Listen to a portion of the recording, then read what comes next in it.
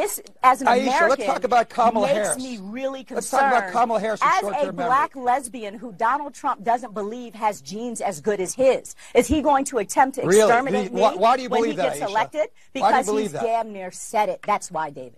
That's why. Because he's- okay, and I'm not going to be said that, lectured by some white man who has no idea what he's talking about and is trying to rewrite history here. Aisha, I shame- am shame on afraid, you, Aisha. as an American, Aaron. of a Donald Trump presidency and his actual quotes Shame are on you, why. Aisha. Because I take him seriously, and I think that he believes what he says, and that is why he is a danger and a threat to America.